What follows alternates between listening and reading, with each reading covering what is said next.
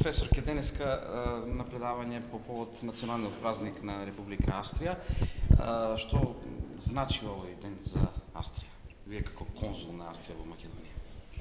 Денес на 26 октомври го славиме националниот празник на Република Австрија, кој што е доста значаен празник, национален празник нели на една држава.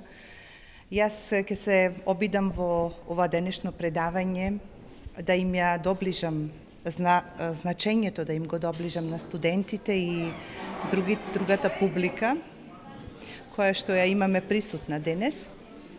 А, што значи тоа? Значи, од историски аспект ќе се потрудам да им кажам што значи државниот договор кој што се склучил на 15 мај 1955 година, кога Австрија станува слободна како втора република, бидејќи првата република е веднаш основана во 1918 година.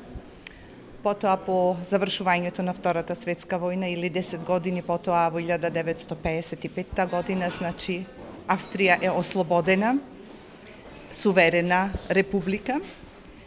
Исто така ќе дадам еден краток осврт на символите на Република Австрија, озборувајќи за знамето на Република Австрија, за грбот на Република Австрија, но да не ги заборавиме и е, знаменитостите во Република Австрија, специалитетите, сето она малку поинтересно да им го доближиме на студентите од катедрата за германски јазик при филолошкиот факултет.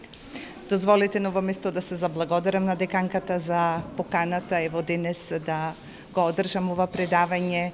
Со задоволство го прифатив ја прифатив таа покана и благодарам на доцент доктор Драгана Кузмановска, која што еве на овој начин се грижи студентите да ги запознаат германскојазичните земји, Република Австрија, Германија и Швајцарија. Преку вашите гостувања овде на Универзитетот Гоце Делчев евидентна е соработката и, и оно што е како соработка меѓу високото образование и Универзитетот Гоце Делчев а, и вас како почесен конзул, веројатно така и со Република Австрија, меѓутоа како почесен конзул на Република Австрија во Македонија, како ги гледате односите меѓу Република Македонија и Република Австрија, на кој ниво ги оценувате?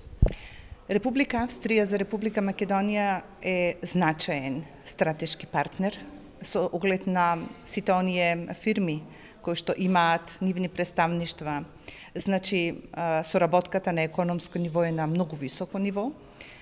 Австрија секогаш била партнер и пријател на Република Македонија во секој поглед дали се работи за образование, за економија, за политика, секогаш ја имаме поддршката на Република Австрија.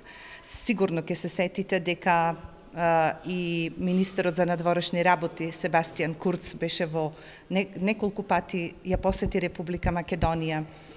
Сега веќе и тој после 15 октомври по изборите се кандидира за канцелар на Република Австрија за премиер и веќе течат преговорите за нашиот министер за надворешни работи да стане премиер на Република Австрија.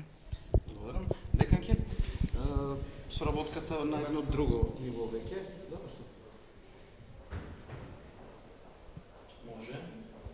Велете, соработката продолжува. Професорката продолжува. Продолжува соработката. Ние филолошкиот факултет при Универзитетот Гоце Делчев Штип, односно катедрата за германски јазик и книжевност, повторно е активна, се со цел ја поканивме нашата професорка Виолета Илиева, која што е всуш Валентина Илиева, која што е и конзул, почесен конзул на Република Австрија, да биде наш денешен гостин и со своето неизино излагање да ги да ја доближи историјата, но секако и иднината на Австрија, Република Австрија, каде што германскиот јазик е државниот јазик кој што нашите студенти го изучуваат при групата на германски јазик и книжевност.